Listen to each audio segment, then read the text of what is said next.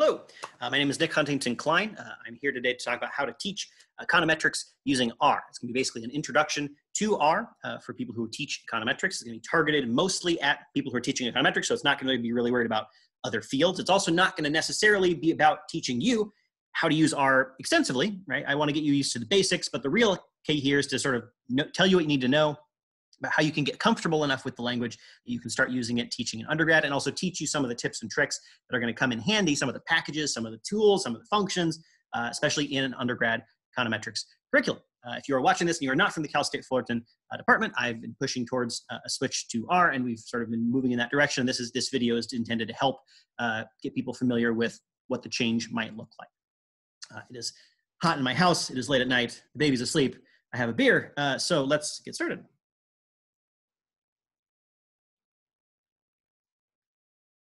Share screen. Okay, so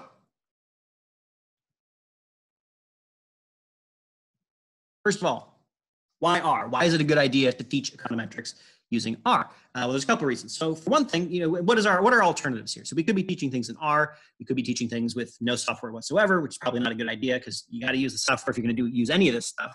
Uh, you could use Stata, you could use Python, Excel, MATLAB, uh, eViews, SPSS, everything. Right. So why R?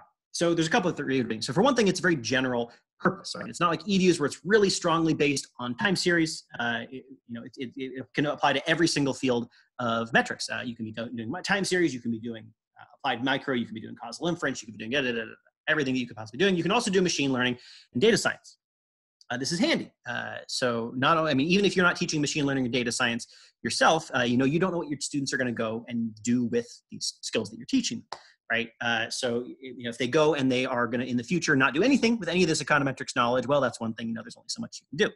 Uh, but if they are going to go in, into a job where they might be working with data, first of all, they're going to be a lot more likely to use something like R than something like SPSS. Uh, you know, uh, maybe not as much as if they're not as likely as they are to use Excel, but teaching econometrics in Excel, well, that has its own pros and cons anyway. Uh, but uh, it's going to be it's a lot more likely to get used on the job than a lot of the more academically oriented st- software packages that we might tend to use uh, in the past. Uh, and then also, um, uh, if, if, they're going to end up doing something with machine learning or data science, it's really hard to do that with a lot of the packages. You know, Stata has a couple of things you can run a lasso in Stata, but really, if they are learning Stata in school and then they're going to go into a job where they have to do some sort of machine learning, they'll have to be not just learning those new tools, but also learning an entire new language the same time. We can avoid that by giving them a more applicable, general purpose, uh, and you know, job-ready uh, language. Second, it's a lot easier to jump from R to whatever they need to know in the future, right? If they are going from your class to another person's class who uh, uses different software or to a job that uses different kinds of software, it's a lot easier to make the jump from R to Stata than to jump from Stata to R. It's also a lot easier to jump from R to like Python, uh, which is a lot more, uh, you know, if you're thinking, well, hey, if I want them to really get a job ready language, well, I should teach them Python, right? That's, that's probably more popular in the job, in, the, in careers uh, than R is. Well, yeah, probably it is. Uh, but uh, why not Python? Well, you could teach econometrics using Python. It's certainly possible. But I will say uh, it's a lot harder. so the way that I like to think about sort of the three big languages that economists use, which would be Stata, R, in Python, ignoring something like uh, Julia, maybe, uh, then, uh, you know, Stata is by economists for economists. Everything it does is geared towards economists. It does everything that economists want. It is very specifically an economics and sometimes other social science uh, package uh, business, maybe. Um, uh, R is by statisticians for statisticians. So it does everything thinking about how statisticians do it. Python is by computer scientists for computer scientists. So you can do econometrics in R, but it's it's sort of not really built for that. Uh, and you know, there's certainly things like Econ Tools, the package, or you know, NumPy, and all these sorts of packages that you can do econometrics in, but it's not built for that. A lot of the assumptions that you tend to make as an economist are being made in different ways because people are coming from different backgrounds. Uh, and so you have to work with it a lot more and squeeze it a lot more into shape to get it to do the econometrics thing that you want it to do. R is one step closer. It's not by economists for economists, but it's, you know, statistics is a lot closer to, econo- to econometrics than computer science is.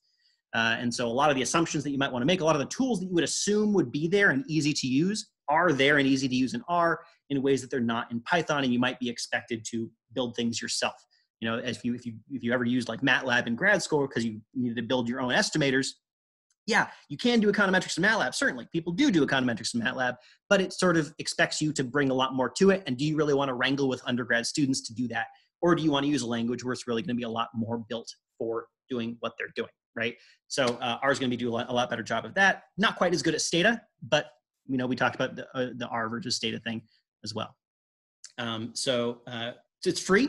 Uh, Stata and eViews and SPSS are not free. So once they leave academia, uh, once they graduate, what are they going to do with their skills? Well, maybe they go to a job that has Stata. That's great.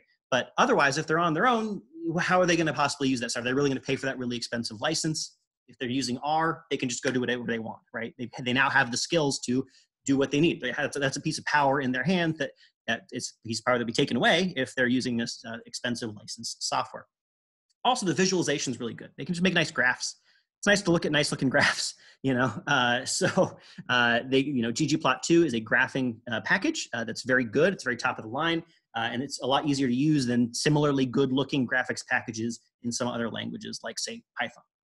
So those are some reasons why I think R is good for teaching uh, econometrics. Also, like I said, you can teach every single class in R, including time series. Uh, and actually, you can synthesize your entire uh, curriculum into one language. Some resources. Uh, this is, of course, only going to be a brief introduction to how, to how teaching econometrics in R works. Uh, so there are, of course, a lot of other resources that we can use. Uh, so one thing I would recommend looking at is the RStudio cheat sheets. Uh, so RStudio, it will we'll go into in a little bit, uh, is a, a, IDE. It's a it's a piece of software through which you use R, and they the company RStudio, has put together a bunch of cheat sheets on different parts of R. So they're little one or two page PDFs that you can download, and they'll remind you of all different kinds of uh, uh, pieces of, of functions and and everything that you might need to know uh, about different areas. I actually have one of these pasted up on my office wall. Uh, my website, nickchk.com, on the econometrics page and the videos page, there's plenty of resources there uh, for different packages you can use to load data into R. I've got my video series introducing uh, you to R and going through the base, more of the basics of programming, which I'm not super going to do in this video. Uh, so if you're interested in that, go to those videos, uh, and those are targeted at the undergrad econometrics curriculum. So pretty much every tool that you might need for the undergrad econometrics curriculum, you should find a video on it there. I will say, by the way, all these links are on this video. You can't click them through the screen, but you can uh, get to these slides. Uh, so these slides are all stored here at um, rpubs.com uh, slash nickchk slash rteach2020. I'm not sure if you can see it with the Zoom bar up there. You can probably see that. If not, there it is. rpubs.com slash nickchk slash rteach2020. Okay, so you can actually click these links. Uh, also, I will recommend the Swirl package. So Swirl package, uh, which you can also learn about more at swirlstats.com, uh, is a package in R that teaches you R. You can download these little classes and it will walk you through different aspects of the R programming language. So you can do something like, you know, I want to just want to learn the basics, basics, and it will say, okay, here's how you make a number. And it'll say, okay, here's how you make a number. And then it'll say, okay, now you make a number. And then you'll type in, okay, I'll make a number. Uh, and then it says, well, you did it right or wrong, and it'll guide you towards the right answer. These are very handy. There's all different sorts of classes that are available that you can download so you can get used to and in, hands-on walking you through way uh, different parts of the R language. You could assign doing one of these things as homework. You can actually make your own. They have a package called Swirlify allows you to make your own uh, walkthroughs for different uh, types of things. So maybe you want to make that uh, some sort of homework assignment as well, or just good training resources available. So uh, let's actually get into R. So I want to get you in the R mindset to think about how R handles things in ways that you know might not be familiar to you if you're coming from a different statistics package, especially something like let's say SPSS or maybe Stata. So in Stata, there's only or in R, there's only three things that you can do. Okay, one is you can create or overwrite an object, and now an object in R is anything, everything and anything you can really think of as being an object hold it in your hands, you can look it around, you can, that's what an object is, right? And this could be a number, this could be a variable, this could be a data set, this could be a function, uh, this could be a regression. Yeah, a regression is itself an object in R that you can manipulate just as you could, you know, a data set or something like that. Uh, so you can, you can create or overwrite an object. That's one thing you can do. The second thing you can do is you can manipulate objects using functions. R is a functional programming language. Everything that you do is you're going to basically be taking objects and you're going to be shoving them into functions and they're going to come out as different objects on the other side. So you say, okay, I'm going to create this number. This is a three right here. I'm going to take this three. I'm going to put it through my squaring function. And on the other end, I'm going to get a nine. That's going to be a new object, right? So I started with an object. I created that object. That's step number one. I manipulated that object by running it through a function. And that function, and what I, the output that I got on the other side was a nine. That also is itself an object. The function itself was an object too. That squaring function was an object and you can look at objects, right? So I started with a three, turned it into a nine. If I want to actually look at that, I can say, hey, show me this object and say, hey, it's a nine. Oh, look, it's a nine, right? Okay, so that's all you can do. Everything that you can do in R comes down to this. And if you can remember this and think about things in this way, think it'll make it a lot easier to understand how the why the syntax works like it does and how you can sort of work your way through putting together the correct uh, commands. Because you'll think, okay, what are the objects that I want to take here? I want to how what objects do I want to create? What do I want them to look like? How can I manipulate them uh, in order to get the objects that I want at the other end? Okay, so let's go over some of the basics. Uh, we're going to get familiar with RStudio. So first of all, R and RStudio are two different things. R is the language itself. You can download that at r-project.org. Uh, you can download it for your computer. Once you have that installed, you can then install RStudio. RStudio is rstudio.com. It is sort of a window into R that makes it, in my opinion, a lot easier to use. You certainly don't have to use it. A lot of people don't. Um, but I think it makes things so much easier that I, I can't imagine really using R uh, without it. So let's take a look at RStudio here.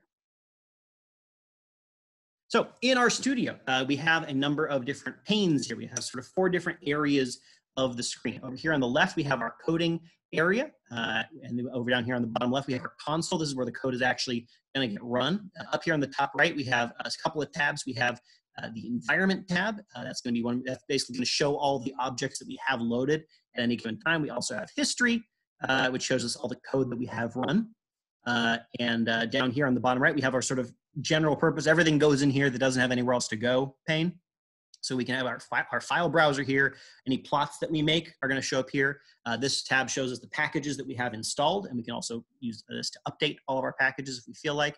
Uh, the very important help window, which I'll talk about in a second, and the viewer, which shows uh, some others, basically anything that's not a plot that it wants to show you. So some things about RStudio. Uh, so first of all, up here in the top left, this code, you can see that we, have, we can have multiple code uh, tabs open at once, different R scripts. So you can see that R code is saved as .r. Uh, this is, of course, a code editor up here. It does all the things that you'd expect a code editor to do, including uh, auto completion. R has Studio has a very uh, strong, strong autocomplete uh, uh, uh, technology. So you can, if you if you don't really remember the full name of something, you can just start typing and it will fill it in for you. So if I want to say, okay, well, I want to load a data set, what's the data function? If I do dat, it will pop up, oh, data, data, that's, that's the function that I want. And it will show you the full syntax uh, for that, th that function itself, which will help remind you how you can use uh, that function. And it will also, by the way, once you start writing it in, it will fill in the different values that it can take. It knows, hey, what can go in the data function? Well, it's all the data sets that I have access to right here. And so it's going to list all the data sets that I have. And so I can load in this, this data set, let's say. Uh, down here in the bottom left, we have our console. This will actually be where the code will actually run. I can type code directly into the console. I can say, hey, A is going to be one right there. Uh, you can see that code that I ran showed up on the history over here because I ran it. I just hit enter to run it. Uh, also, any code that I run up here in the uh, uh, code editor will run down there. Uh, and I can do that in two ways. So one thing I can do is I can, or sorry, if I hover over a particular line, I hit control enter, it will run that line. So I hit control and enter, it might, I think it's command and enter on a Mac. Uh, and that line that I ran came, showed up down here in the, um, in the console, and that ran the line of code, which of course put the scorecard data set into my environment, which is all the objects that I have loaded. Uh, also that A that I created, I said A was gonna be one, A, turn, A turned out to be one up here in the environment tab. I can also uh, select a chunk of code and run it all at once. Uh, so I can uh, do, ooh, forgot to load my libraries. One thing you, you always want to make sure to do in R is to load your libraries. Uh, you can also, by the way, uh, if you put some, some curly braces around bunch of code and you, can just hit control enter once and it will run all those things. Okay, so all I'm doing up here, I'm running code. It's running down here in the console. I can run that code by hitting control enter. Uh, I've also, course, saved my stuff, uh, all that sort of stuff you, you expect to be here. I don't need to explain all that to you.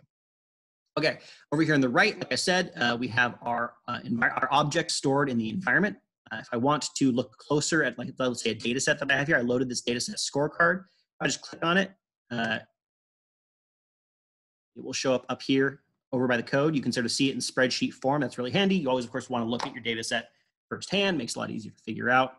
Um, yeah, any objects that have. You can also see that there's this little blue uh, line or this blue triangle here. Uh, if I click this, uh, this basically means that this object has smaller objects inside of it, sort of a box with objects inside of it. If I click this, it'll show me everything that's inside of this object. This is a data set, and so it's got variables inside of it.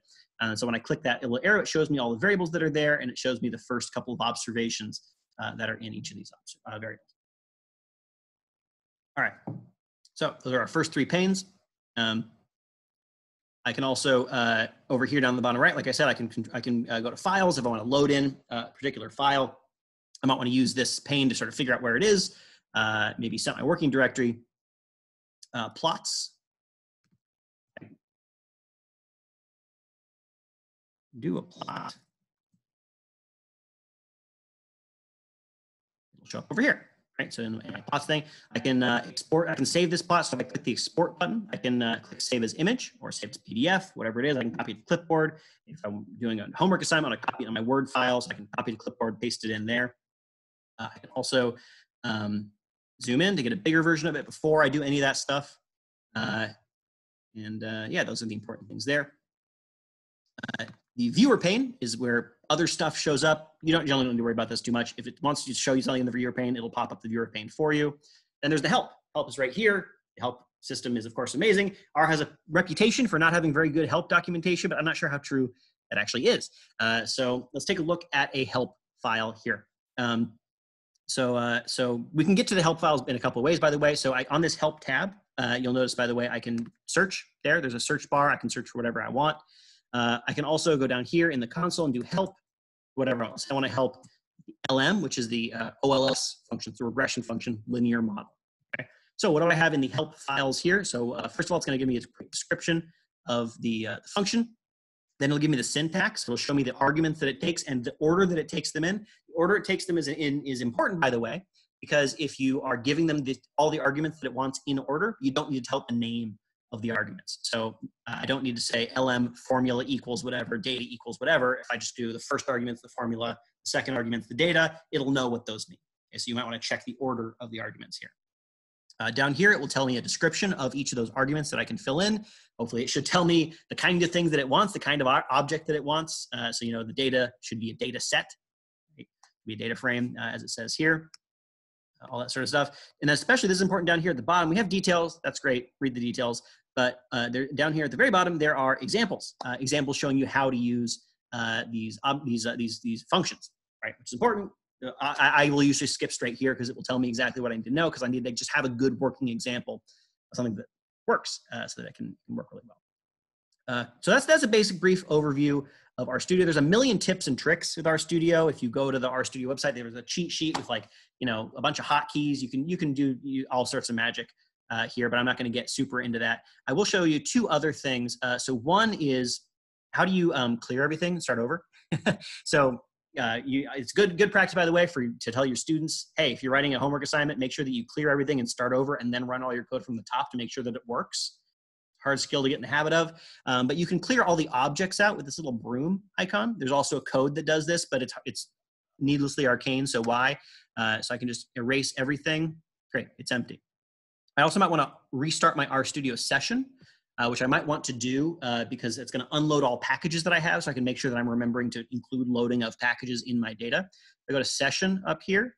Uh, I can do restart R, and that will restart everything all over fresh and new.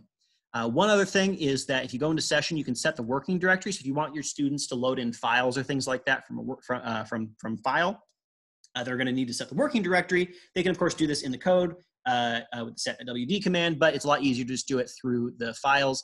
Uh, so one really handy one that I use all the time is to source file location. So if you have some code, you save it to a folder, the folder that you are working in, then you can just say, hey, session, set working directory to source file location. It will set the working directory to wherever the active code that I'm looking at is saved to, which is handy. Uh, you can also uh, navigate wherever you want in the files pane and set the working directory to be file pane location, or you can just choose it directly with the choose directory option. Okay, those are the basics of RStudio. Um, uh, yeah, let's get back to our slides here.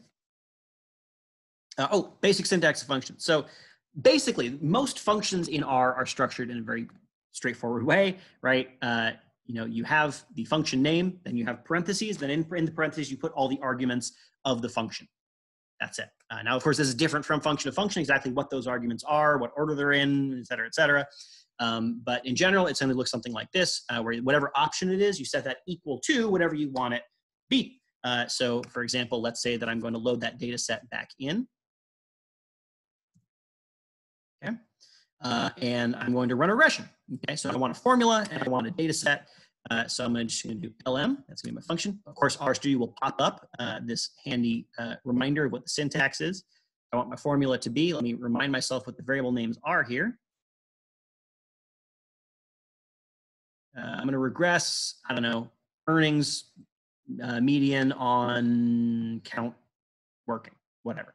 So I'm going to do earnings median on count working. Great. And notice, by the way, I, this is the first argument. This is formula. This is a formula object that I'm passing to it. Formulas are objects too. I didn't have to say formula because it's the first argument. Uh, because it's the first argument and I'm putting it first, it just knows that it's the formula. Then I want the data set could say data equals, let's say I want it to be scorecard. It doesn't know, by the way, that I want to run this regression in the scorecard data, even though it's the only data set that I have. I need to tell it which data set that I'm working on because it needs to know which object to look in for the data. There is no universal data set that is like the data set that it's working with at the time. It's not how R works. Uh, you can try to mash R to work that way, but it's not generally recommended. Uh, I want to skip. Let's let's uh, let's do another op option in here. Uh, let's say that uh, uh, I should have thought this ahead. Uh, let's set QR. What is QR?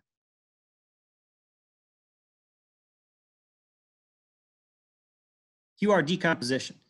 Uh, sure.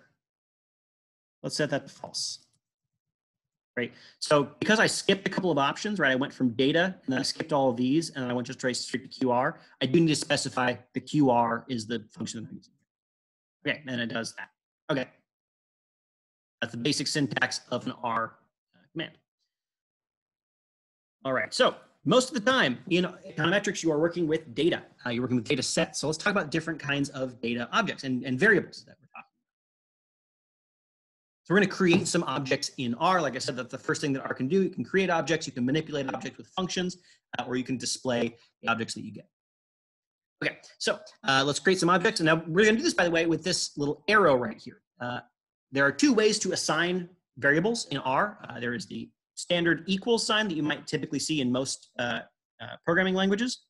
And then there's this arrow uh, which I quite like because it reminds you that what you're doing when you create an object is you're taking this and you're assigning it to that, right? You're not actually setting two things equal to each other. It doesn't make any sense, right? You, you know, if you say A equals one, well, in algebra terms, that means that you, you're solving for A and A is equal to one, and that's not really what's happening in a computer programming setting.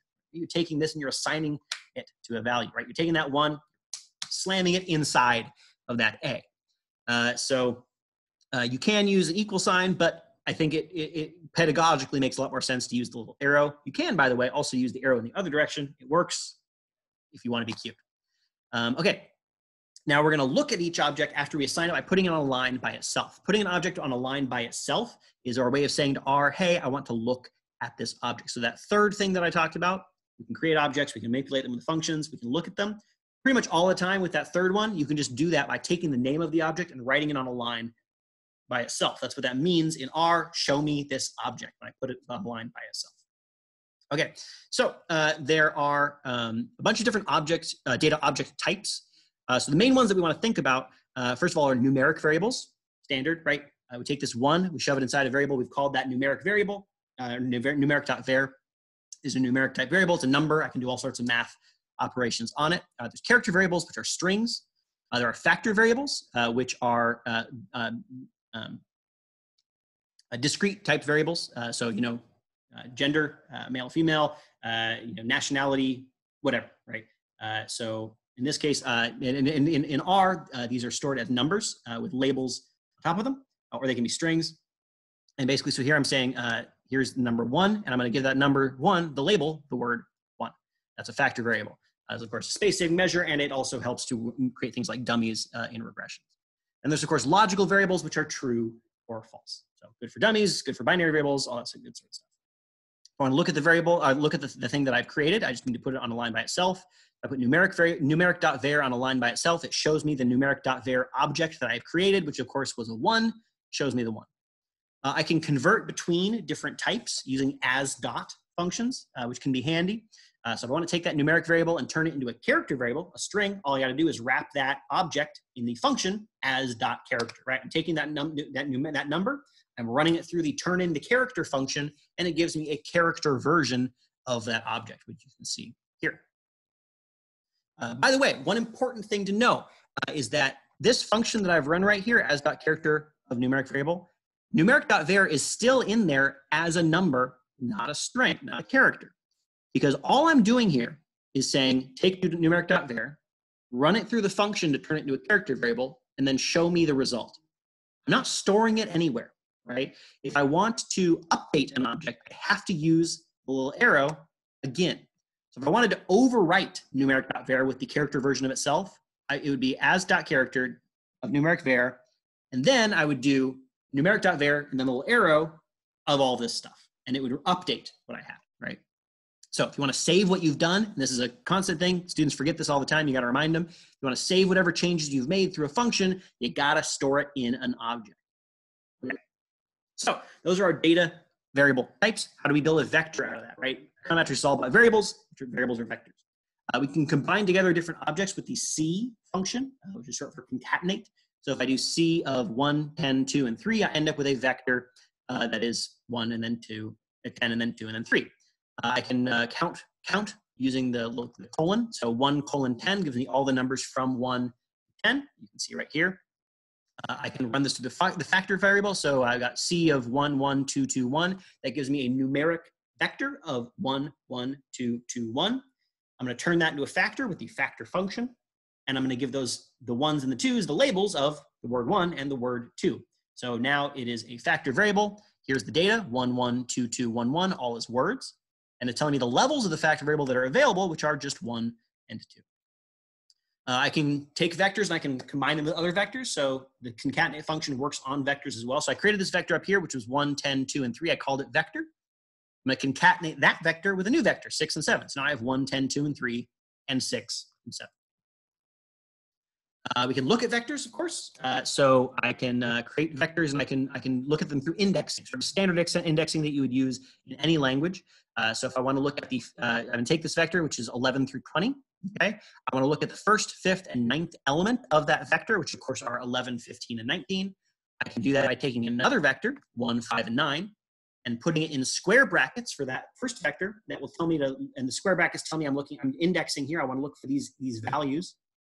Uh, so I want to look at the first, fifth, and ninth value. It's going to give me the first, fifth, and ninth value, which are 11, 15, and 19. Uh, instead of giving it index numbers, I can give it, give it trues and falses uh, to tell me which uh, elements I do or do not want to see. Uh, so what, what's going on here? So first, I start with a vector of logicals. So this is true, false, true, false. Then I'm using the rep function, which just tells me to repeat something. I'm repeating it five times. So I got true, false, true, false, true, false, true, false, true, false. Okay, so that's 10 total elements. I give that to my vector. So it's going to give me the first element, true, not the second one, false. Yes, the third one, true, not the fourth one, false, and so on. So this should give me, this should give me all the odd elements of my vector, which are of course 11, 13, 15, 17, and 19. And there we have it. All right, so we have these vectors. How are we going to turn them into data sets? So uh, in R, uh, pretty much every complex kind of object is a list. A list is a very general kind of like array where it's just an object with a bunch of objects in it. That's all that it is.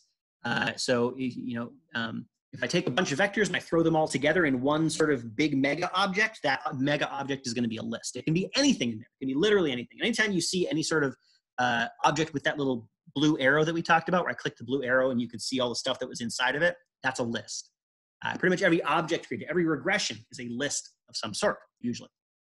Uh, it's a very flexible object with a bunch of stuff in it. Uh, if we have a list, we can pull out the, the elements of that list with double square brackets. Um, and the reason I'm talking about this is because in a second, I'm going to show you how data is an example of a list. So let's talk about lists for a second. So let's create a list. I'm going to take um, create a list with a list function.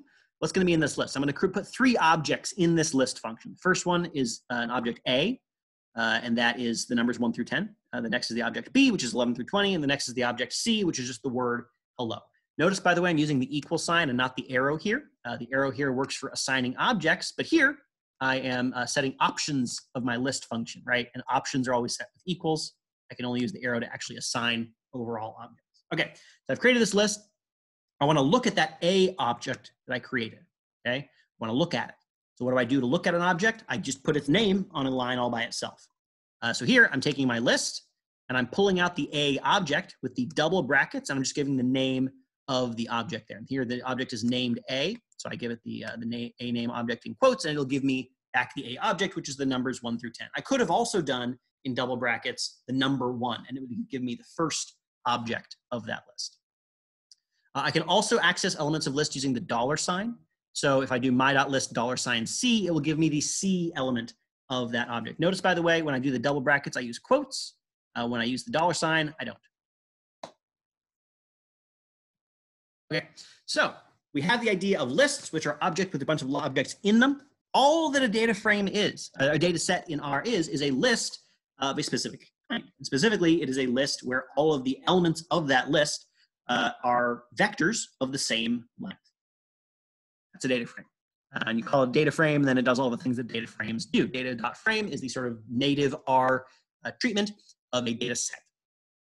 Um, so uh, let's give an example here. So we're going to take that exact same stuff that I did before, where A was numbers from 1 to 10, B was 11 to 20, uh, and C was the word hello, except this time I'm going to make hello repeat 10 times. So it's the same length as the other vectors. So once I do this, I have a data set, my.df, my data set.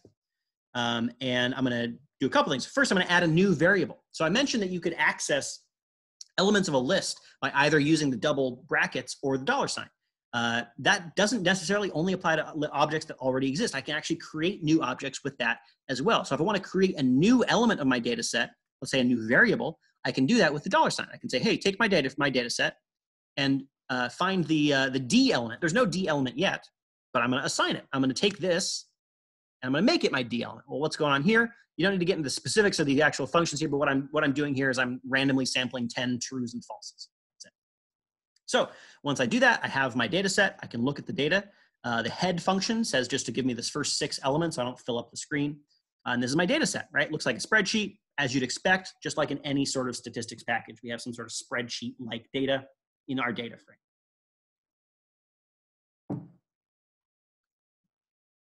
Okay, we have our data sets. We're gonna wanna run stuff through functions. Uh, so a um, couple things. So one, most of the functions are what you'd expect, mean takes the mean, median takes the median, uh, you know, quantile gives you quantiles, uh, and of course there's infinite other kinds of functions as well. A couple things to note specifically about R, I can't go through every single kind of function, uh, but just to give you some, some general overall things that you might run into as you are learning about some of the, some of the syntax, some of the commands.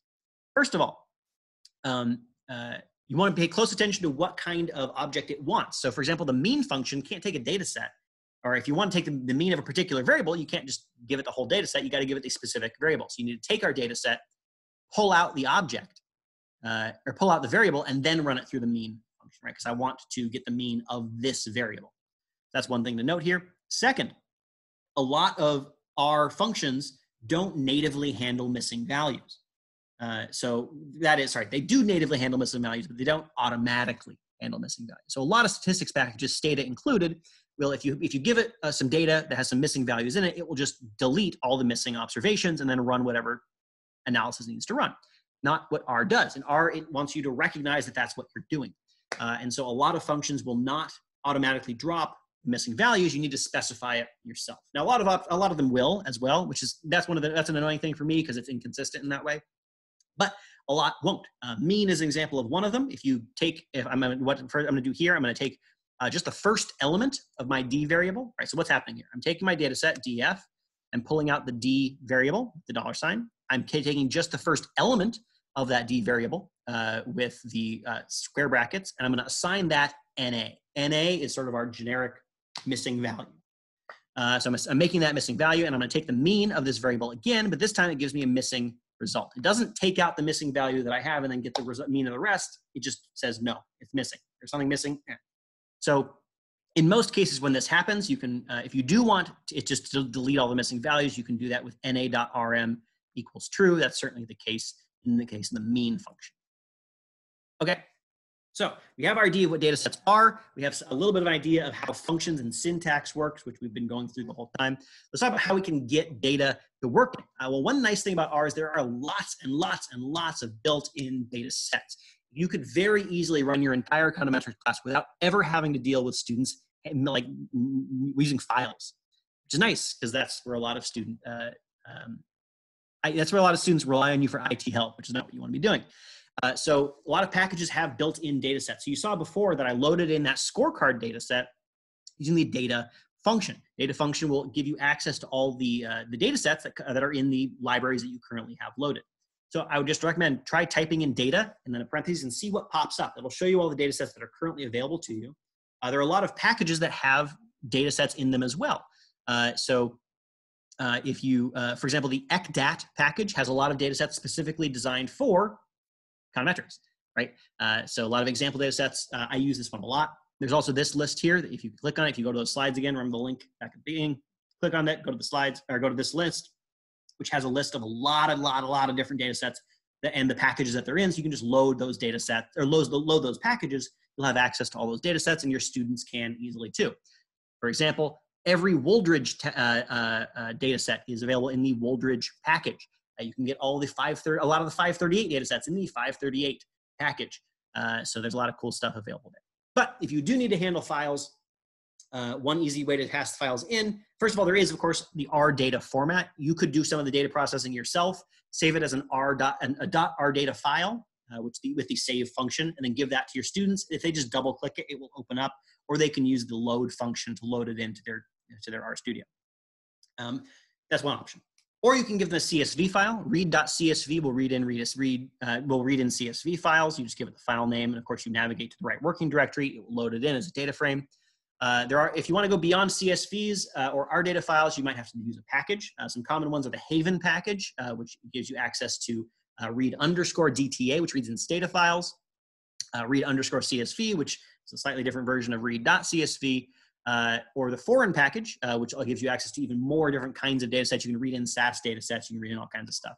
So whatever data set format you have, there's almost certainly a function in Haven or foreign that can read it in for you. Notice, by the way, one nice thing, I mentioned how uh, annoying it is to have students have to deal with files. If you do have to have a file, uh, you can skip having to have them put it on their computer. You can just store it on the internet somewhere, give them the URL for it, because all these functions will work with URLs as well. They don't have to actually download the file.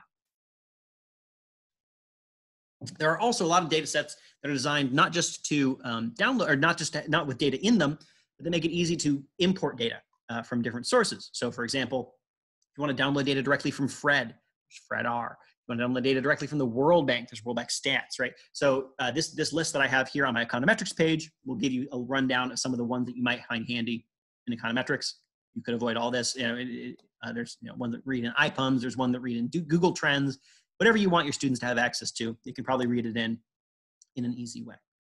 Uh, I will give a little plug here uh, for my vTable package, uh, which once you have your data set in is a very good way to look at data uh, and explore it beyond just looking at the whole spreadsheet by itself. It'll give you some nice little summary tables and things like that. Anyway.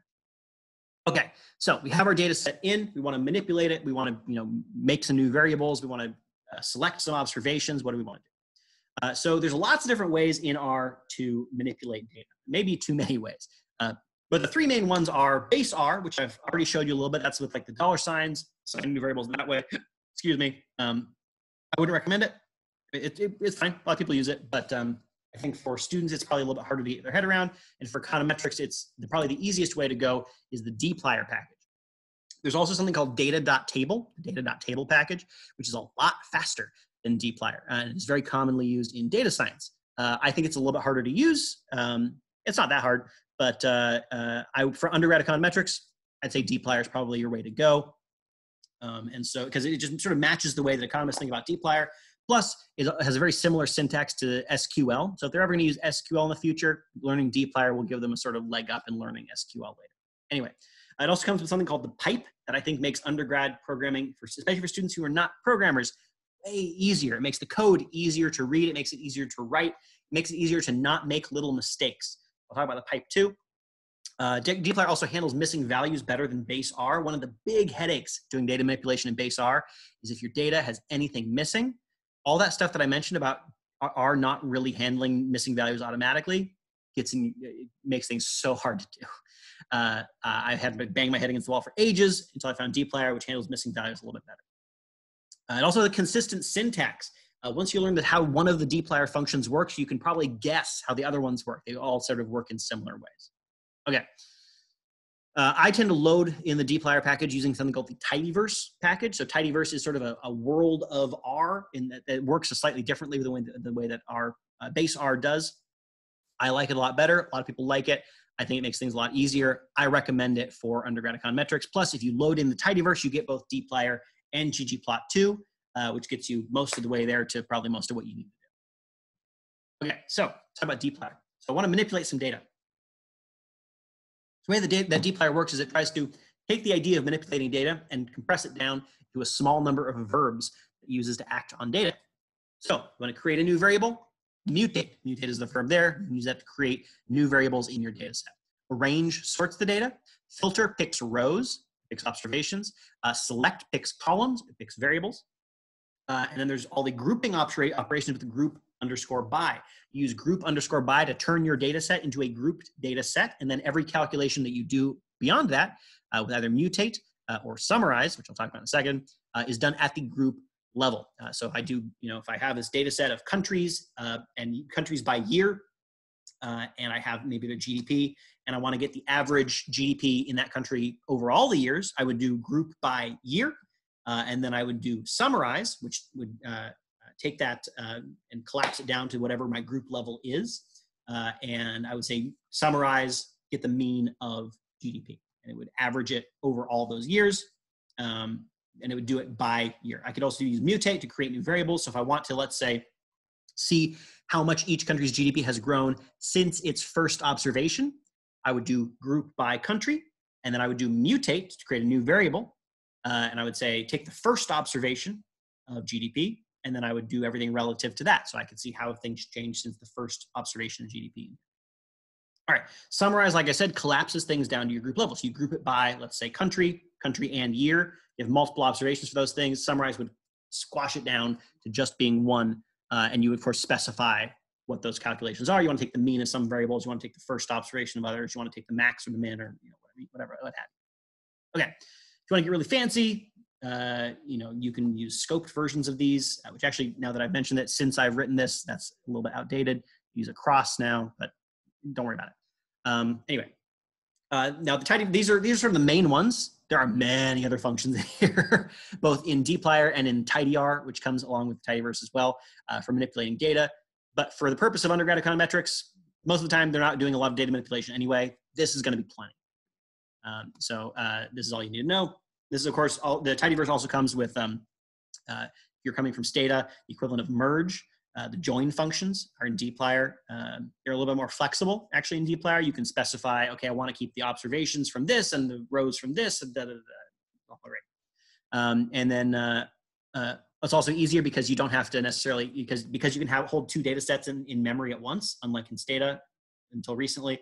Um, it's very easy to do things like, um, or you don't necessarily have to save one to file so that you can merge to it. So the problem that I run into in Stata all the time. Anyway, join functions there for merging.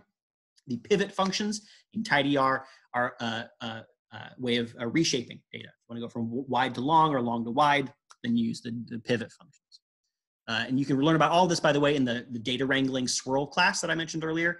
Uh, so that's one thing you might want to run through, especially if you are uh, still getting used to R. I would recommend doing this. I think once you learn dplyr, for an economist anyway, the rest of R becomes much easier and easier to think about. So I, I would recommend doing that and starting here uh, if you're still a little bit confused. Okay, just some quick examples. I'm going to load in some data. I'm going to load some of the some ATUS data, American Time Use Survey. Like I said, a lot of packages just have data in them. Uh, the American Time Use Survey is available to me in the ATUS package. I'm going to load up the ATUS package. I'm going to load up the ATUS data set. I'm going to do a couple manipulations to it. So uh, I'm going to take my ATUS ACT data.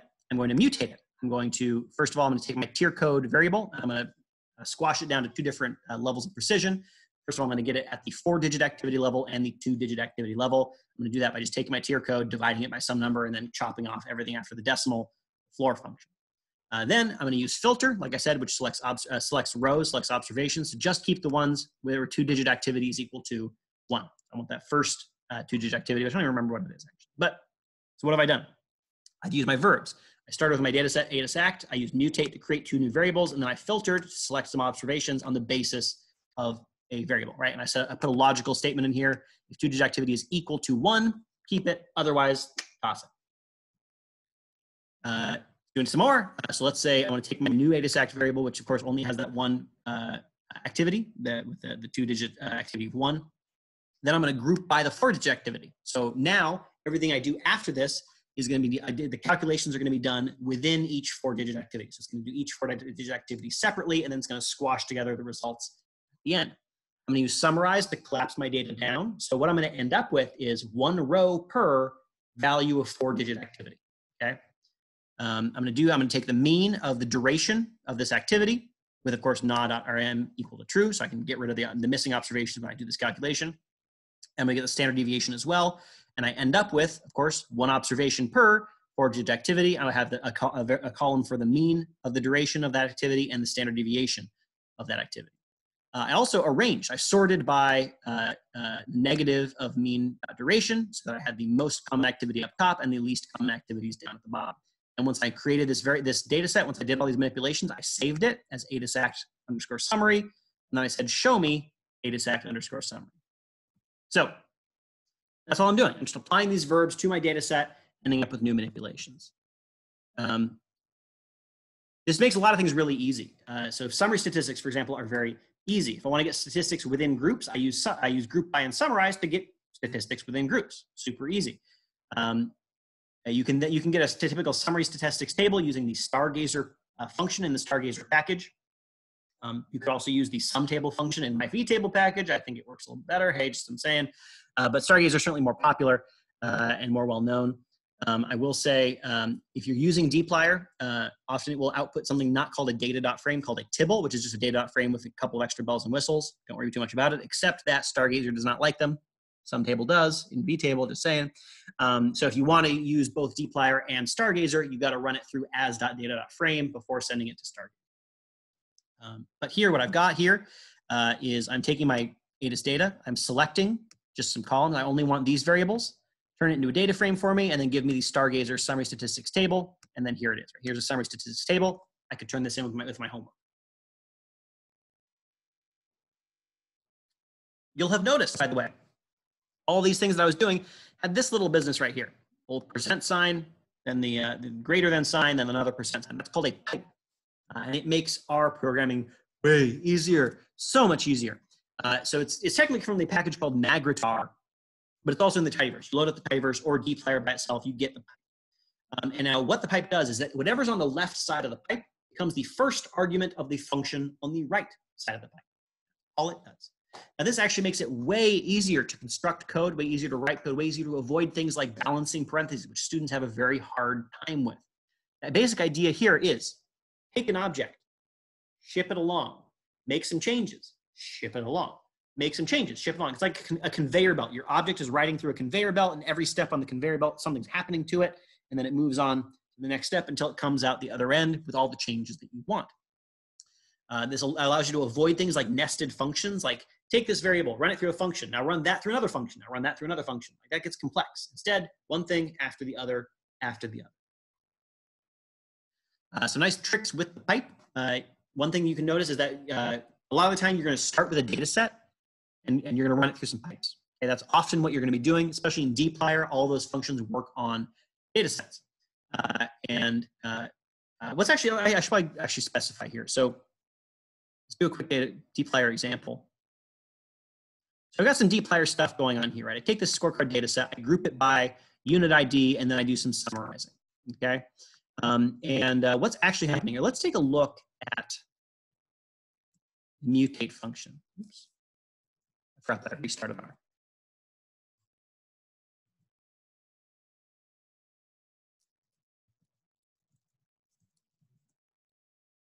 So notice here, the first argument of mutate is not what variable do you want to put in? It's data. Now, I didn't put in a data set here, did I? Well, actually I did because I used pipe, right? I started with this data set and I piped it along to this function. Now the, that, that this data set becomes the first argument of the function on the right. group by, summarize, mutate, like I mentioned, they have a consistent syntax where the data set always comes first. Okay, so whatever data set I'm shipping along becomes the first argument. And there we go, right? So I don't need to type the data set over and over again. I just say scorecard, it becomes the first argument in, in group by. Uh, and then I take this group's data set, that becomes the first argument in summarize. I take that summarized data set, that becomes the first argument in mutate. Okay. Um, also, something else to notice, by the way, these three dots, forgot to mention earlier, when these three dots show up, this is where the documentation R gets a little bit sparser. But basically, this just this just means whatever goes here. so um, this function mutate accepts any number of variables that I want to create. I can create multiple variables at once. So how, what do I want to put in there? Whatever, right? Variable, another variable, another variable, another variable, dot, dot, dot. Uh, so this sort of allows our functions to take complex arguments. You usually have to read the, the, uh, the documentation to figure out what it means, right? So this says name, value, pairs, pairs of expressions. So variable equals this thing, variable equals this thing. Those are the pairs. And you have as many of them as I want, and thus the, the dot, dot, dot. Anyway. All right, so some things with the pipe. Um, so um, first of all, as I mentioned, you're usually passing a data set along pipe, but it doesn't have to be this. It can be anything. Uh, so uh, um, uh, you can take a function, pass it through a pipe. You can take an, a list and pass it through a pipe. You can take a number and pass it through a pipe. Anything, as long as whatever it is on the left, you're good with becoming the thing on the right.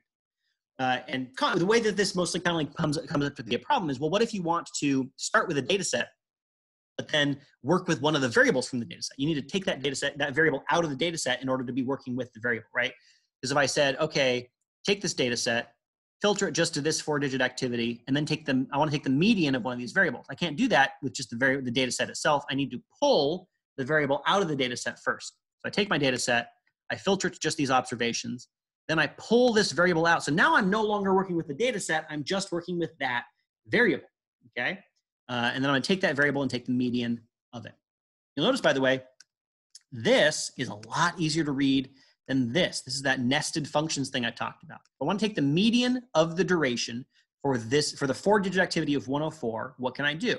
Well, I can filter my, my data set to just that four digit activity. I can then pull the, the variable out of it with the dollar sign, and then I can wrap that all in median. That's really complex to follow. You have to really think hard about how to structure all that, or I can work step by step. I can take my data set, pass it to filter to get the data, the observations I want, pass that to pull to pull out the variable set that I want, and then pass it to median to get the median of that variable. Another thing to note with the pipe is that sometimes a variable, uh, a function that's not in the tidyverse will not play nicely with the pipe. That is, it will not take a data set as its first argument when you want it to. So for, uh, this often, often comes with the LM function, which is for regressions. Uh, so uh, let's say I want to run a regression, um, but, the, but data is not the first argument of LM. So if I just take ATUSACT and I pass it to LM, it will not get it right. It'll try to fill it in the formula. Because remember, the formula was the first argument of LM from earlier. But I can fix that really easy. I just use the dot. So if I use ATUSACT and then I pipe it to LM, wherever I put the dot, that just means the data set that I'm passing in with the pipe. Okay, so if I do data equals dot, that means that the data object is now going to be ATUSACT, and I can run whatever function or whatever uh, regression I want. Now here, of course, I'm taking this regression object, I'm passing that to the residual function, right? You can pass anything through a pipe. It doesn't have to be a data set, doesn't have to be a variable. Here I'm passing a regression to the residual function, getting the residual of that, of that regression, now I've got residuals. I'm going to pass that to the standard deviation. So now I can get the standard deviation of the residuals by starting with the data set, turning it into a regression object, turning that into a vector of residuals, turning that into, into a standard deviation number, right? So I'm passing everything along one step at a time. You can very clearly see what I'm doing every step. Speaking of regressions, let's talk about regressions. So regression is something we do a lot of in econometrics. Uh, so in, in, uh, in R, regressions are, of course, objects. Um, regression functions you take data, take a formula, they give you a regression object as an output. Uh, typical uh, inputs to regression would be a formula object, a data set, and whatever options you want to set. You will output a regression object, which is generally intended to be stored and run through some other function. One thing that confuses our uh, people with R a lot when they use it the first time is you run a regression and it gives you back very little information because you're not really meant to just look at a regression. You're meant to take a regression object and let's say put it through a summary function or some other function that is intended to show you all the detail that you want of the regression object. Once you have your regression object, uh, you can look at the outcome often with the summary function. We'll show you a lot of the information about the regression object. Uh, or you can run it through a function that is intended to give you, a, like let's say, a regression table. Uh, a very common one is the Stargazer uh, uh, function from the Stargazer package. I mentioned earlier, you can use Stargazer to create um, uh, summary statistics tables. You can also use it to create regression tables as well. Um, nice thing about Stargazer, it's very attuned to economists' wants and needs, and so it sort of looks like you would expect as an economist a regression table or a descriptive statistics table. Um, you can also run that regression object through other functions. So, you know, in Stata, how do you get the predicted values from regression? Well, you run the regression, and then afterwards you say the predict command. That's not how it works here. Here, we're going to run regression. We're going to store our regression object. And We're going to run our regression object through the predict function, which takes the predicted values out of a regression object, right? So, again, where everything is objects and functions that we're running those objects through. Uh, you can also get relevant statistics out of your regression with the dollar sign. A regression is a list. You can get objects out of it with the dollar sign or the double brackets. Uh, so you maybe you want to get the R squared out of your regression. Well, use the dollar sign, right? You can pull your statistics out of there. It's just a list full of stuff. Uh, some of those relevant statistics, by the way, are in the summary object itself. This can sometimes be confusing. Uh, you know, if you want to get that R squared out, I think it's actually not in the in the regression object itself. You have to get the summary of the regression object and then use the dollar sign to get the R squared out of that. Like this. So here we're running a regression. Uh, so what regression am I running? Well, I'm using the ATUS RESP data. I'm running a regression of hourly wage on household size and hours worked per week. I'm storing that regression as my.reg.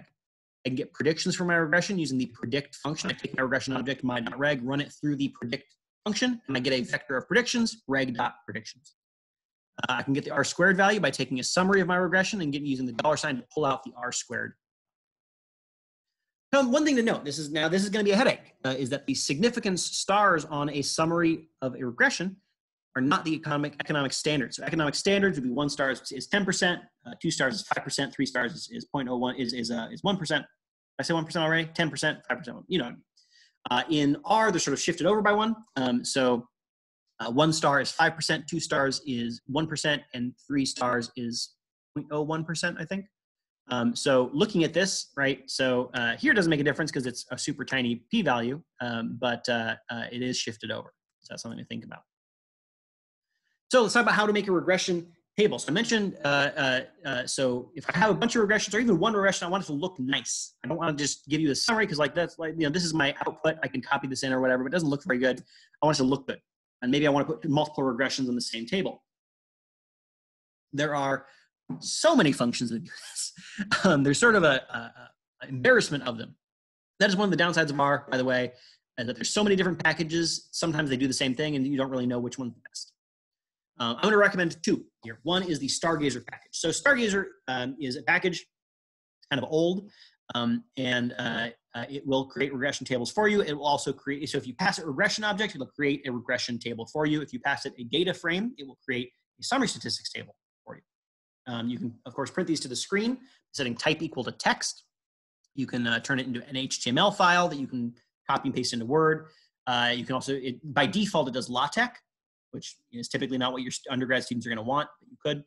Um, all the defaults are what economists would expect. So the stars are 10, 5, and 1. Uh, it sort of lays out the regression in the way that economists tend to expect it, where coefficients up here, and then the standard error is down here in parentheses. Uh, so it doesn't like auto, it doesn't by default give you the t statistic, which some packages will do. Uh, it shows you some of the expect the expected statistics down here that you would expect. Observations r squared, adjusted r squared. Um, so it sort of does things as economists would expect. It has sort of a lot of options that you can choose. So if I only want to keep some of the coefficients, I can do that. That's easy to do. Um, so uh, upsides and downsides with Stargazer. So upside, it's one package, and you can do both your summary statistics tables and your regression tables with that one package. Two, it's very easy to use. All you got to do is take your, your data set, boom, now you have a, a, summary statistics table. Take your regressions, boom, now you have a regression object. You, have, you do have to remember to say type equals text or type equals HTML, is what are you going to do with, the, with LaTeX or what's an undergrad going to do with LaTeX? Uh, downsides. Uh, it's old, and so it doesn't support everything. So sometimes if you do, for example, I'm going to recommend a little bit later, uh, the estimatr package for some regressions, it doesn't work with those at all. It just doesn't work. Uh, I mentioned already before that it doesn't work with Tibbles. So, you know, you have to do a little bit of it. You have to be a little bit careful about what you recommend your students use if you want to then have them pass it to Stargazer. Uh, that's the downside. Uh, there are a lot of other packages that will do regression tables very easily for you as well.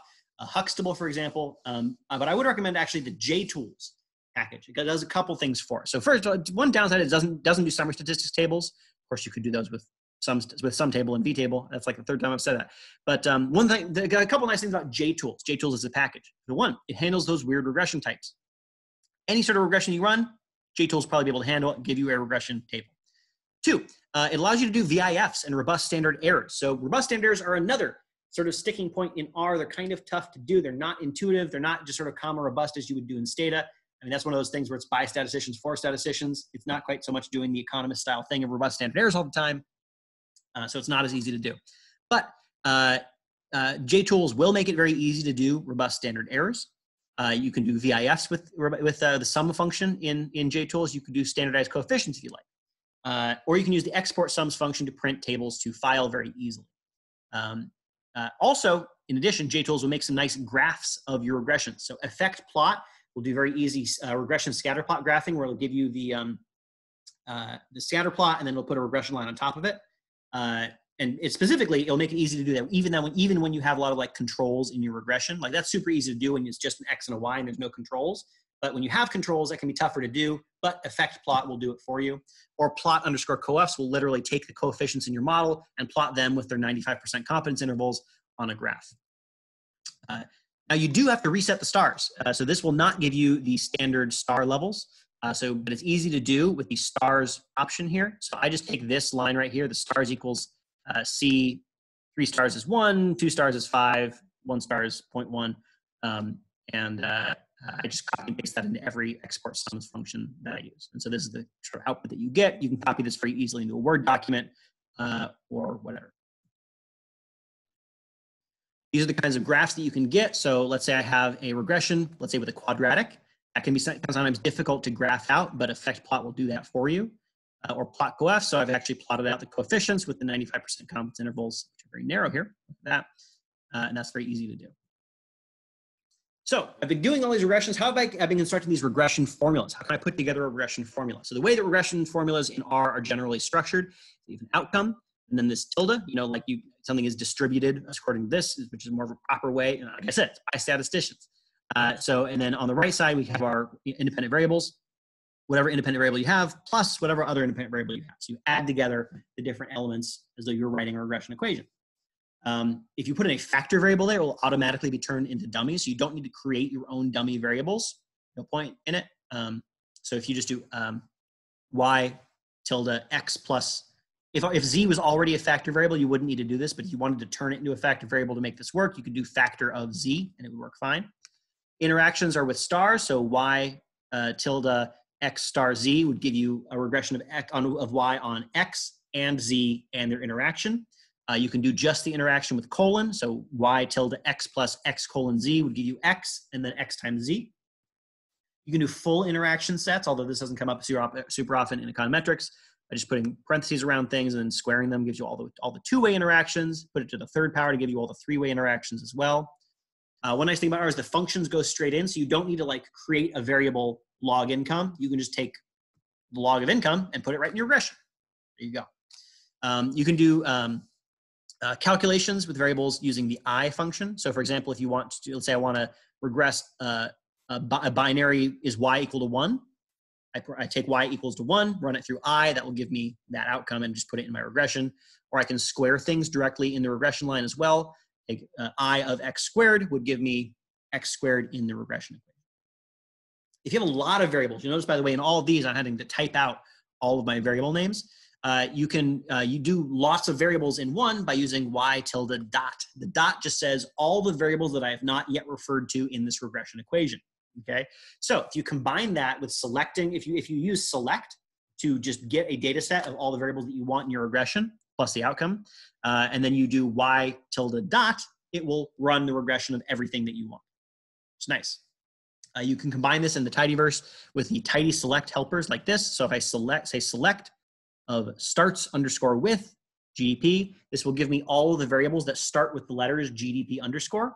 Uh, so I can easily select lots of variables that way, pass through a regression with the dot in it, and then it will regress all of those variables. Regression commands. Uh, so what can I actually run, how can I actually run a regression? The standard is LM, standard OLS. Does not do robust standard errors. You got to do a whole bunch of other stuff to do that, um, but does standard OLS. If you want to do time series, there's all kinds of time series tools in R. I would recommend looking at the DynLM for dynamic linear model with lags and stuff. Forecast uh, package for forecasting in the future. Uh, the tseries package is good. Uh, things like um, autocorrelation functions, partial autocorrelation functions are, are based in R. You don't need to use a package for those at all. All kinds of options available for you.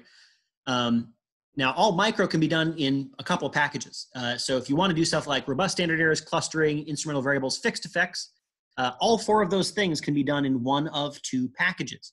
Uh, by which I mean all four of them can be done in one package, and you can just choose which packages. Those two packages are estimatr, uh, without without last vowel, sort of like Tumblr.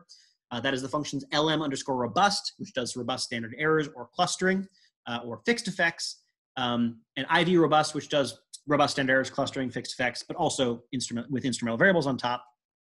Um, uh, or the LFE package, uh, which has the FELM function, which that one function will do uh, clustering, fixed effects, bus standard errors, instrumental variables, all four of those in one. So you can do pretty much all of applied micro in FELM, at least at the undergrad level. Um, the former, the estimatr package, I think has easier syntax. It's easier to put together an equation, but it still has some, it's a little bit newer, still has some bugs in it, and doesn't work with Stargazer. Uh, FELM from the LFE package is harder to put together an equation, but it does work with Stargazer. It's also faster quite a bit, um, especially when you have uh, lots of fixed effects.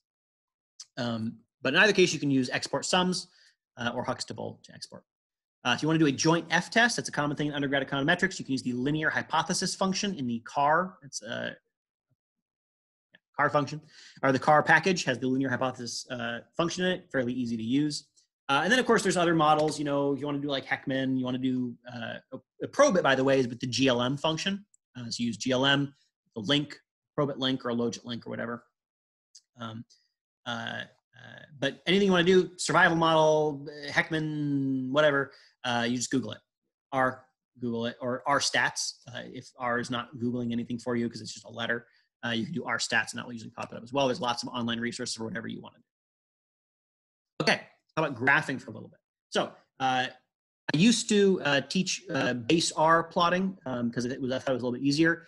I think ggplot's worth it. It's slightly more difficult to, to get started on than base R plotting, but it looks so much nicer um, and uh, you, it's so much more flexible too. So it's also very a lot easier to do things like graphing separately by group. Very easy to do in ggplot. So it's a top tier graphing tool used in places like 538 and BBC and uh, all sorts, and The Economist and all sorts of other places use ggplot.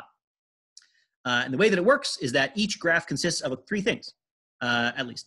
Data set, an aesthetic, which basically just describes all the axes that all your, your, your data varies on. So that's gonna be your x-axis, your y-axis, but also stuff like I want the color to be different by this variable, right? So I want to color differently different countries. Maybe I want to do that. Or line type to be different, or the size to be different, or whatever. And a geometry. Geometry is what actually gets drawn on the thing. So I want you to draw me a scatter plot. So I'll add a, a point, a point uh, ge uh, geometry. I want you to draw me a line graph. I'll add a line geometry. Uh, the syntax is not too difficult to use. Uh, it can get really in the weeds for super advanced styling, but if you just want something basic that a student can turn in for a homework assignment, it's still it's not very difficult to put together. Uh, you can also use the, uh, the ggeasy package to put together uh, functions or put together uh, plots. It'll be a lot easier. Uh, there's, there's some other stuff out there that can make it even easier. There's a drag and drop system, which the name is escaping me. Oh, what's it called? Es, it's got a weird name. Es, es, esquil, esquil, es, esquirler, I forget. If you Google point and click ggplot, I'm sure it'll pop up. So here's how it works. So we're going to load our data set. I'm going to put in those three elements that I talked about. So I'm going to plot my data set, mtcars. It's a tidyverse function, so the data set always goes first. I've got my aesthetic. Uh, that tells me the axes along which things are varying. So I want my x-axis to be the horsepower uh, variable. I want my y-axis to be the miles per gallon variable. And I'm going to add plus the geometry of a point geometry. So I'm going to put a, a scatter plot on. What if I want to color separately by the type of transmission? I set the color axis. Uh, so it's going to be a factor variable. I would, I, you know, the different kinds of transmissions there are, uh, I set it to this variable, and it will color separately by the values of that variable. Uh, I can do things like add on top. And this is getting uh, this is about as complex as I can imagine undergraduate graph getting. And of course, it gets much more complex than that. There's whole books written on this function. Um, but this is uh, this is as complex as I can imagine you assigning anybody to do anything. So what I'm going to do here. So first, I'm going to take my data set. I'm going to use dplyr in the pipe to mutate a new variable in there, transmission.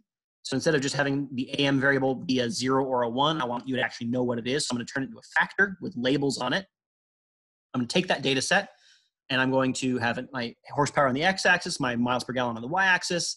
I'm going to set both the shape and the color separately by transmission. So you can see that the, that the uh, manual transmissions are triangles, the circular transmissions are, autom- are, are the automatic transmissions are circular, and also one is blue and the other is red. I'm going to add my point geometry on there. I'm also going to add a theme. There's lots of themes that you can do. My favorite is theme minimal. That's sort of my go-to. I'm going to add a uh, regression line on top of it. So the geom smooth function or geometry adds on a smoothing function. In this case, a, a, a linear model uh, with the 95% uh, confidence intervals. And I'm going to uh, title everything. So I'm going to put an x-axis title of horsepower. I'm going to y-axis title of miles per gallon. Uh, a um, and uh, the title of the actual plot itself of miles per gallon versus horsepower. I could have also set uh, the color title in here, and it would have titled this this legend over here with whatever I said. Line plots are also very easy. So I load in the economics data set, which comes with the ggplot package. Uh, and so I'm going to plot a date on the x-axis. Uh, it will, uh, of course, recognize that these are, uh, it's actually months in the data set, but it, it, when it pulls back out, it says, oh, there's a lot of data set here. I'm only going to show you the year. It's smart about that. I'm going to show the unemployment to population ratio over time. I'm going to add a, a line geometry. Use the black and white theme for kicks and giggles, right? Or whatever. Notice, by the way, I'm uh, I'm storing this as an object, right? The plots themselves are object. I'm storing it as an object. If I want to see that, I'm just going to put it on its own line itself. But line graphs are, line graphs and point graphs are going to be cover most of what you're going to do. Uh, if you want to do a density plot, I guess geom underscore density will give you a density plot. Okay, so there's only so much that I can cover. There's of course a lot more out there in the world. Uh, so explore. There's lots of resources out there available. There's lots of books. There's lots of slides. There's lots of presentations. You can do whatever. Um, I would recommend trying a swirl class if you're just starting out. Uh, it will really walk you through sort of the best practices for how you can get this so you don't just like find the first Google of what it is and maybe that's not really the best way to do it. This will walk you through some proper uh, things. Also check out the materials on my website, really handy. A couple quick extras. So one, rstudio.cloud. So as you're teaching, uh, one thing that uh, might be nice is rstudio.cloud. It's a cloud-based version of RStudio that's completely free, at least for now. Um, it allows you to use R without installing anything, so your students don't have to bother installing R on their own laptops. Um, it also has classroom tools, like uh, you can set a project and have everybody do their own version of the project um, uh, so that you can use that as homework. Uh, so let me actually show you, it takes a second to load. One, the one downside of it's a little slow.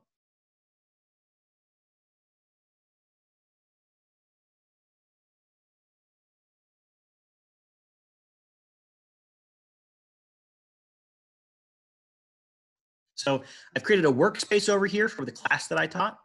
Uh, and if I go in here, you can see uh, all the homework assignment projects that I created uh, and also the versions that the students turned in. Uh, so this is a copy of the project that I created. When they went into that project, uh, it automatically created their own copy and they were working in their own space on that project. I can go in and look at what they're doing. Uh, so if they're like, hey, can you help me with my code? I can literally go in and sort of look over their shoulder in their code and, and do that with them. Let me show you what it looks like. So if I click on one of these projects, it's going to basically just open up RStudio for me. This is the slow part, uh, by the way. Um, it's going to look like RStudio. I can create, I can upload files here for them to work with. So if I want to work work with a data file, I can upload it here. They can load it very easily. I can set up some libraries already installed on one of these, uh, so I don't have to worry about installing packages. Um, I can load things. All right, so I can set them up with an environment that's already sort of there. If I want them to sort of enter in and not have to deal with the setup, I can do the setup for them and then it will be automatically replicated for them in each of them. So in this case, uh, I have uh, the homework assignment over here. In this case, I think I, it wasn't a code assignment, so I started as a Word doc. But in most of them, it would be a code file, and the code here, the homework would open up here as a code assignment, and they could they could fill it in however they want. And then they're of course working in R as it normally would be. Um, some pros, they don't have to install anything. They don't have to mess with as much stuff. You can do all the file sharing and stuff for them beforehand. It's all sort of set up for them. You can even handle packages for them if you like. Um, the cons, as of right now, there's not really a great due date system. So if you want to use it for homework, it's kind of hard uh, in that you can't like say, oh, your assignment was late because it doesn't really show you when they turned it in. Uh, there's also no grading system on there. Uh, it can be a little slow to start up. So um, if you are going to use it for home, if you're going to use it for like class activities, fantastic for that. Like everybody working together on the same project, but in their own little space, nothing better. Um, but for a homework assignment, it can be a little iffy because there's not really a good way to do some of the things that we would want it to do. But maybe they're working on that. I know that they want this to be a classroom tool, so they're probably going to fix some of that stuff in the future. A little slow to start up as well. Also, R Markdown. Uh, so these slides are not in PowerPoint uh, or Beamer. These are in R Markdown. So R Markdown is a notebook system. Uh, so if you've heard about reproducible work, uh, that's one thing that, our, that this is. Um, so uh, Markdown is a very basic text formatting thing. So think about like when you put like asterisks to indicate bold, like that's that's that's about the extent that Markdown is. Like it can do links, it can do bold, it can do whatever. Can do images and bulleted lists, but it doesn't do everything. It's very simple to use. Um, R Markdown is an implementation of Markdown, uh, and it, it integrates code and text together in a very easy way. Uh, so very easy to include code in your document. So if you're doing a, a presentation that has a lot of code in it, like I've done here, uh, then uh, it's very easy to get to have the code in your document, have it show up as formatted code, and have it run inside the document. And so you get the results of your code inside your document as well. I find it very handy to do for slides. For pretty much every class that I do that has a programming element in it, I do the slides in R Markdown. You can also do automatic publication to RPubs. Um, so if you want your uh, students to, for example, do a homework assignment with, with R, you might want to have them do their code in an R Markdown notebook. It's not just slides, it's also documents. You can make HTML documents, you can make PDF documents.